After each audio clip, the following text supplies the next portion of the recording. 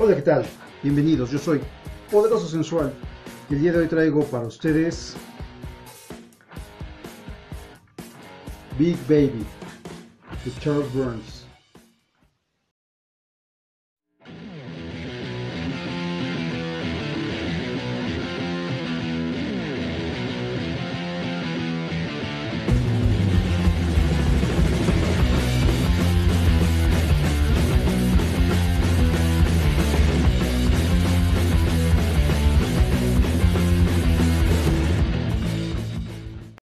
Ocasión voy a hablar de, de esta recopilación. Esta viene aquí de, de- de la editorial eh, La Cúpula. Y bueno, Big Baby son cuatro relatos recopilados en este pequeño cómic en donde vamos a, a ver historias de terror.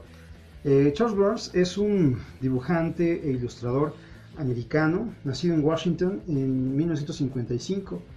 Eh, él ha hecho un sinfín de ilustraciones para eh, varias campañas publicitarias, eh, también para algunas, algunos discos de, de rock, por ejemplo de Iggy Pop.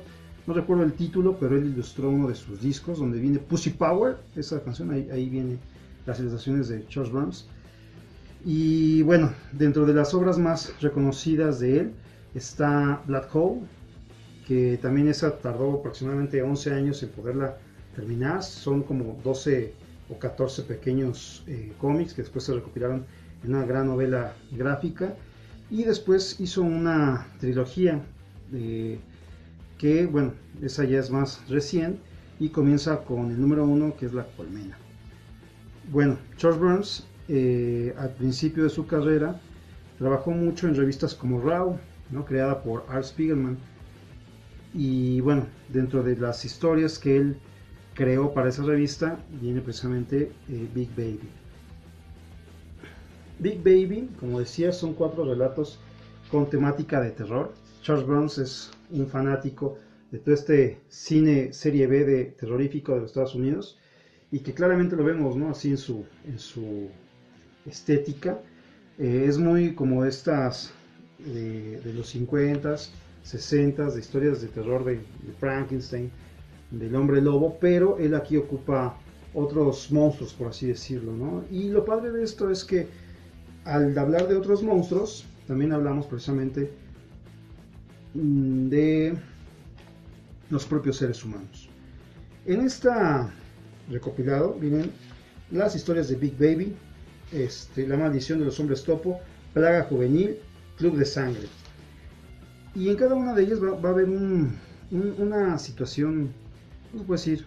Una dualidad entre el terror visual, el terror que ve un niño, en este caso el personaje principal, Big Baby, se llama eh, Tony del Monto, y eh, es una fusión entre cómo su imaginación de este niño nos empieza a dar ciertos relatos que hay un punto en el que no sabemos si es verdad o mentira y en donde también vemos que probablemente no muchos casos lo- los malos son los monstruos o lo feo o lo aberrante es lo monstruoso y nos muestra también cómo el ser humano puede ser realmente el verdadero monstruo. Eh, Tony Del Monto es un chico común y corriente de clase media americano que vive con su papá y su mamá y ellos pues tienen una casa bonita, una vida eh, norteamericana común, pero él siempre está en situaciones que pues eh, salen de lo común. Hay un, uno de los primeros relatos en donde él tiene unos vecinos, donde su vecino es un machista y somete a su mujer, entonces están cavando un hoyo, le dicen, él se asoma y pues con toda la inocencia de un niño dice que están haciendo, los trabajadores le dicen, estamos este, buscando el tesoro del monstruo, ¿no? Pues él se emociona, va en la noche a buscar y ahí empieza un, un, un- montón de situaciones este, extraordinarias, ¿no? Al final esta historia tiene un final des- este, inesperado y precisamente ahí es donde comienzas tú a darte cuenta de que no nada más es una historia de monstruos, va con estética de monstruos, pero sí trae como una reflexión más, ¿no? Una situación de, de eso, ¿no? De quién es lo, verdaderamente malo y feo. Lo que no conocemos y catalogamos como monstruo o pues los propios humanos con sus acciones. ¿Cuál es el, lo más bestial, no?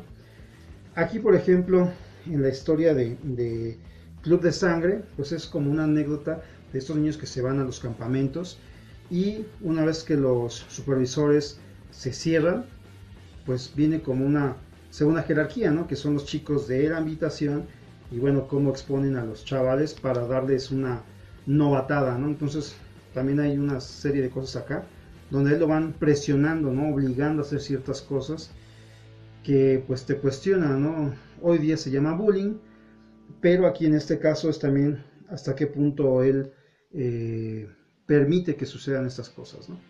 Bueno, en esta ocasión no quiero hablar mucho, ya que es una historia muy corta, son cuatro, es muy delgado y si pueden eh, encontrarlo.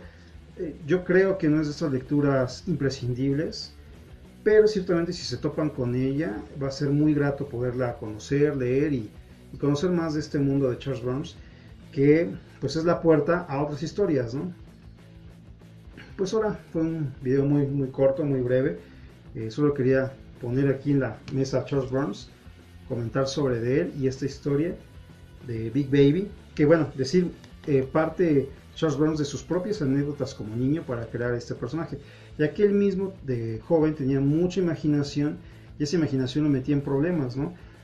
Eh, al suponer ciertas cosas que sucedían como encantamientos o situaciones de, control mental por parte de extraterrestres, ¿no? Entonces todas esas ficciones que de niño creo, ya de grande las materializa en un cómic como es este.